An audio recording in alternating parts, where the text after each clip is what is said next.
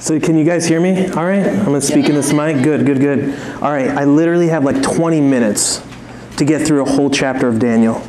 So we're gonna be going like Mach speed through Daniel, okay? First things first, I want you guys to know me a little more. I was gonna play a game. We don't have time for this game, so I- I'm gonna tell you what these things are. All right, you guys play two truths and a lie? Yeah. Do, do you guys want to guess really quickly which are the two truths and which are the lies? So, uh, I toured France with my college band. I once met Dwayne The Rock Johnson, and I was a bouncer for MMA fighting in Atlantic City, New Jersey. Which one? So the second one Yeah. is a is a what? Five. Ooh, that's right. Actually, where's my wife? Beautiful woman with a beautiful baby. You should give this man candy. Yeah. All right, yeah, that's that's really impressive. Yeah, this is not fun anymore. I'm kicking you out of Csehy. Go home. Um, no, so yeah, that is actually a lie. I did tour uh, France with my college band, and I was a bouncer for MMA fighting in Atlantic City, New Jersey. So that was that. All those things are true. Um, next, this is my wonderful family, my beautiful wife, my handsome son. He gets his good looks from my wife, not me.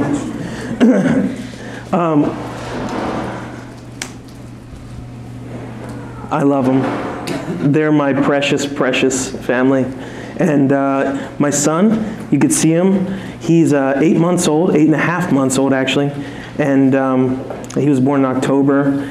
And I'm a new dad. I don't get any sleep. And uh, I feel like everything is in Mach speed when you have a kid because you have to be everywhere all the time. So, anyway, that's a little bit about me. Um, a couple more things. My wife was also uh, in um, music ministry. She was a music director at her church. She uh, also went to school for music and then switched to social work. Um, and you guys know me, I've been in music ministry in the church for a little over 10 years now. So, that's me, me, my wife, and my son Judah. So, thanks for having us. This is my first time at Csehy. Like, I've never been here before. So.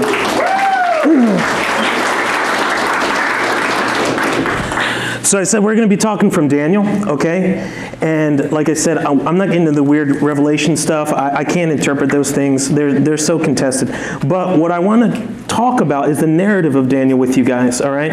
So if you have your Bibles, open up to Daniel chapter 1. We're going to be going through uh, chapter by chapter throughout the week. Um, we'll be doing chapter 1, 2, 3, 4, and then we're going to jump ahead to 6 because we love the story of Daniel and Lion's Den um, at the end of the week.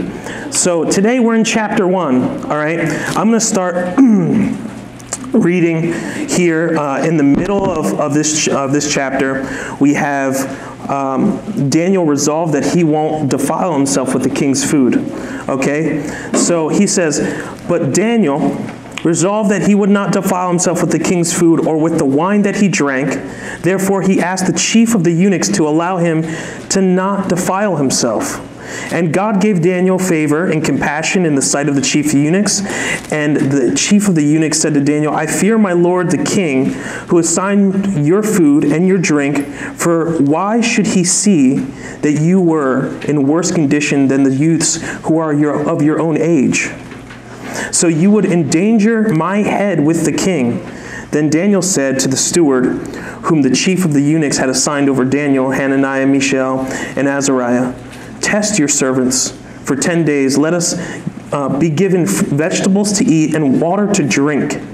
Then let our appearance and the appearance of our youths who eat the king's food be observed by you. And deal with your servants according to what you see.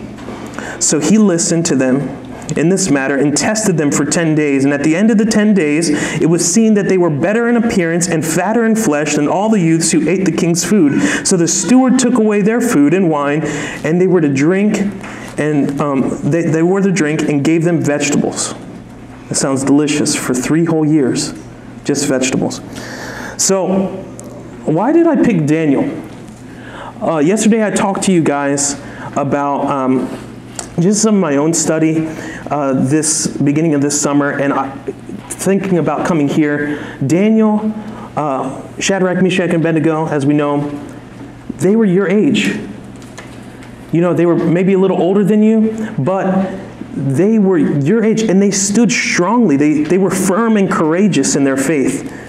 And so, um, one of the, I think your Csehy verse is Jeremiah 17, right? 7 to 8.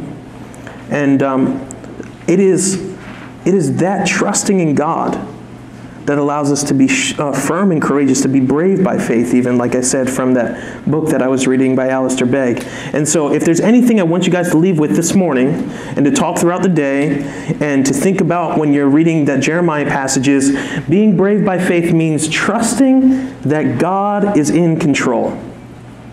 Okay? Trusting that God is in control. And so, have any of you experienced crisis? like major crisis. We should all be shaking. We just went through big Rona. Like that was the like largest crisis I think that all of us have experienced, all right? What did you learn about yourself? I mean, let's look at the past year. It has definitely shaped us and will continue to do so. In the same sense, the book of Daniel opens up with a giant crisis, guys. All right? As I read earlier, and if you know the story of Daniel, we're in the third year of the reign of uh, Jehoiakim. He was the king of Judah. The Jewish people are living in the land of, of promise that God has given them, which is Judah. But Nebuchadnezzar, remember the guy who likes to make giant chocolate bunnies out of himself? Yeah, that guy, that guy took all the Jewish people, destroyed the temple, completely eviscerated, I mean, just killed everything, and, and took and kidnapped the people of Israel. Now, Babylon is the greatest empire in the whole land. And so, before they kind of took over, the Jewish people were, no, no need to freak out. We've, we've seen this before. God's going to come in, He's going to take care of things.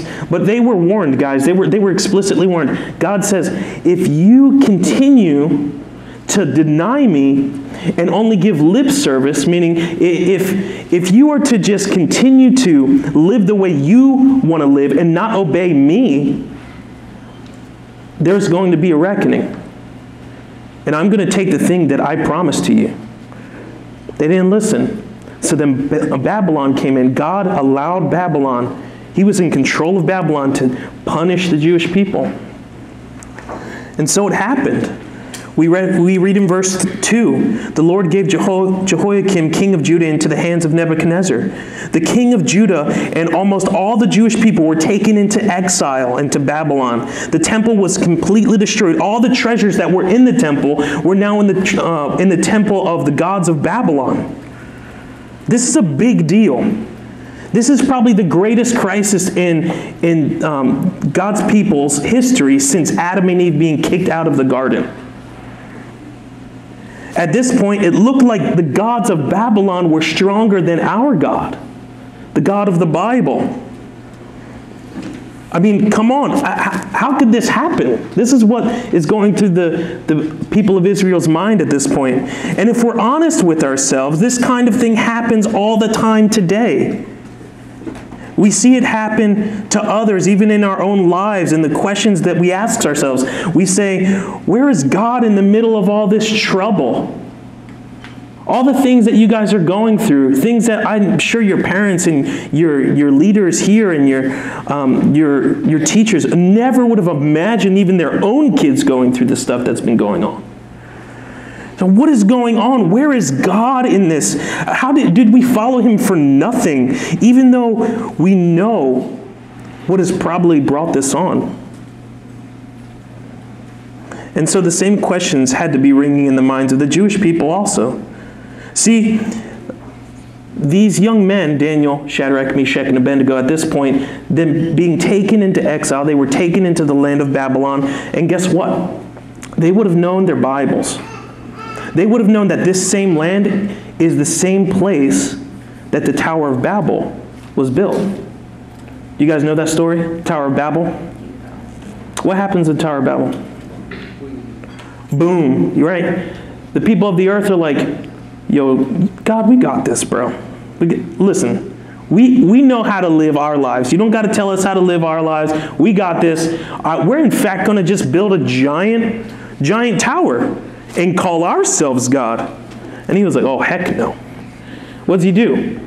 Topples it and then completely changes everybody's languages. They don't even know how to speak to each other. Some, some guy's speaking Mandarin over here, and the other guy's speaking horrible American English.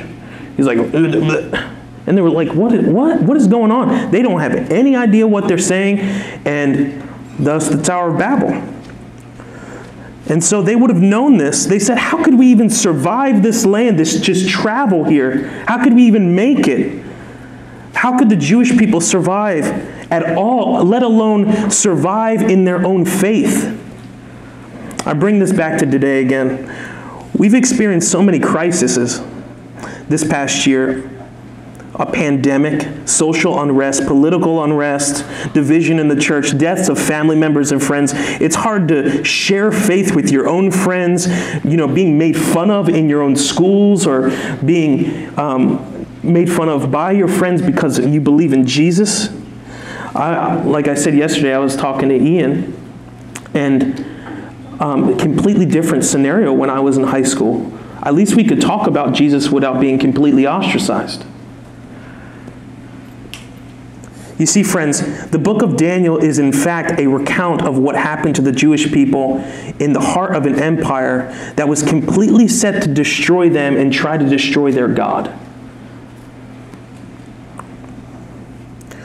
So, when it feels like our world is more like Babylon than Jerusalem, this story reminds us how we can live in firm and courageous confidence in a world that seems so out of joint. So, back to this crisis. You see, Nebuchadnezzar was a smart king, okay? He, he knew to grow his kingdom and his empire that he had to do something.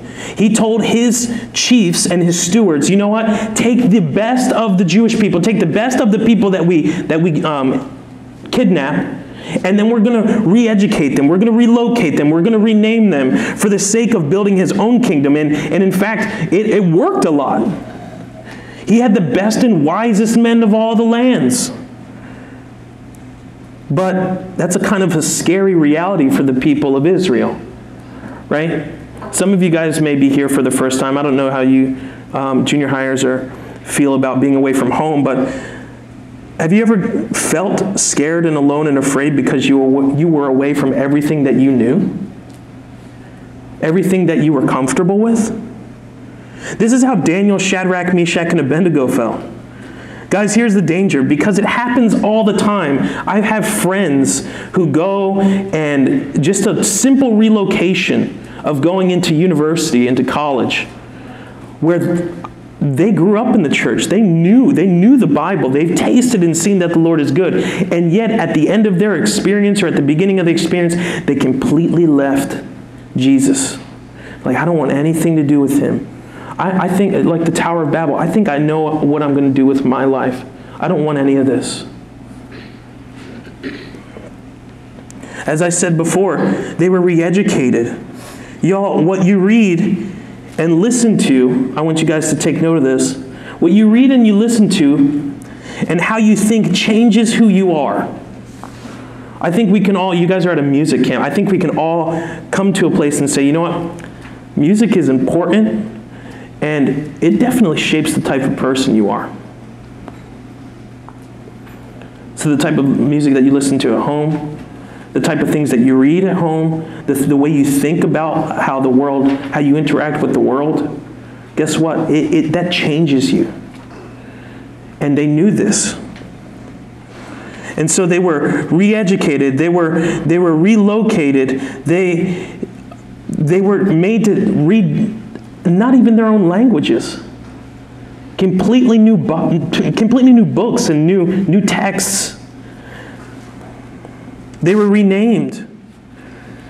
And so all this stuff happened. They were, they were given all this stuff. And then the last thing that was to change is they were to eat the, food, the king's food. And this is where Daniel said no. Daniel said no. Daniel resolved that he would not defile himself with the king's food or with the wine that he drank. That's verse 8. They could not stop from being kidnapped or they could not stop from uh, resisting re education. They couldn't stop themselves with being forced upon with new names. But Daniel was like, I am not eating the food that you give me. This is a weird stance to take, but if you know anything about your Bibles, is that one of the things in God's law is the type of foods that the people of Israel ate. And it was an external outworking. It was, it was how they showed their desire to serve God in what and how they ate. So he resolved that he wouldn't. This is a strange thing to do, but he drew the line. Him and his buddies, they were like, this isn't happening. This was the last thing that they could hold on to for their Jewish roots. And Daniel and his friends were good students, though. They sought favor with the chief of the eunuchs. We see that in verse 9. And so what happens here is that he he resolves to talk to the chief eunuchs and he's like, "Yo, bro, I'm not eating that food." He's like, "Well, I want my head on my shoulders, so you're going to eat the food." He's like, "No." He goes to the steward and he says, "Listen, you put us to the test. You put us to the test. In 10 days, see that we look better than the rest of the other students." I want, I want to do a quick reminder here, too. I'm not trying to get you guys to be like Daniel.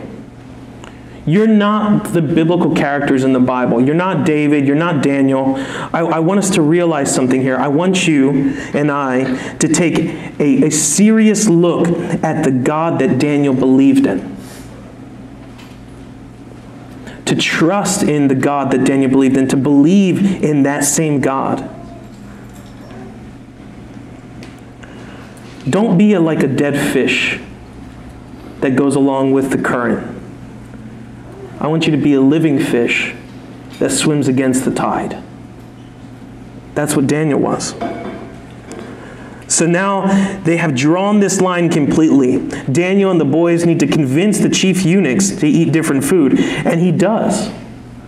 He, he, he convinces the steward 10 days, 10 days, give us the test and see that we're not better. I, I think this is so funny because maybe your leaders will know and um, your counselors. You guys remember the Daniel diet? Remember that book that came out? I think it's I think it's I think it's hilarious because they so they eat vegetables for 10 days and they're fatter than the people that eat the, the meat and the wine. I think that's counterproductive a little bit to a diet right? That's not like you, you generally don't eat more vegetables and say, man, that dude's huge. That doesn't happen. Right? So, but that's what that's exactly what happens. See, this this story is not a diet plan, it's a miracle of God. They, they, it was completely counterintuitive to the way the Babylonians thought about everything. And so when they desired to eat vegetables, guess what?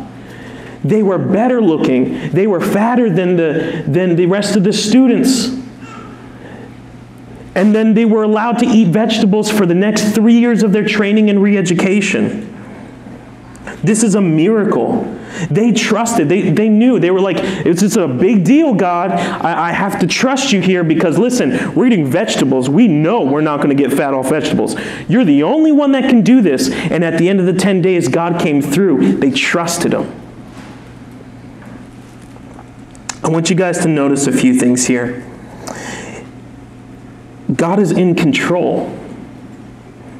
I got two minutes, Graham. I'm paying attention right now. I'm, I'm Mach speed. God is in control. And we know this because God gave at multiple different points. Verse 2 The Lord gave Jehoiakim, king of Judah, into the hand of, of the king of chocolate bunnies. He gave, like, took over Judah. God gave Daniel favor and compassion in the sight of the chief eunuchs. God also gave Daniel, Shadrach, Meshach, and Abednego learning and skill and all literature and wisdom. He's in control. You see, friends, God is in control. God had all of this in the palm of his hands as we, as we sang when we were little kids. He's got the whole world in his hands. Working it all out for his own purposes because he is good. Imagine at the end of the three years of training when they walked before the king and the Babylonians, they would have thought, man, our, our program's really great. No, God. God did this. The same God of Abraham, Isaac, and Jacob was still in control and still in control today. It's the same God today that we believe in. And in the same way Daniel drew his lines, refusing to move in the face of a powerful enemy, we see future that Jesus, our Lord and Savior, did the same before an enemy who was not going to win Satan. And he conquered sin and death, and he drew his lines in a foreign land, in a world where God was born as a baby and held in the hands of his creation lived a perfect life, died a wrongful death, and rose again to save you and I so that we can come to Csehy.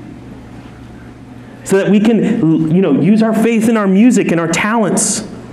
So I want to remind you guys of something. The emphasis here in Daniel is not really about Daniel. It's about God. If you want to be brave by faith, if you want to stand firm and courageous, trust that God is in control. Trust Him, love Him, read about Him, pray to Him. And when you find that life is so disjointed as it has been, like in this story for Daniel and his buddies, be comforted and reminded about the truth of who God is for us, the God who is in control. He will make us brave, He will make you firm and courageous.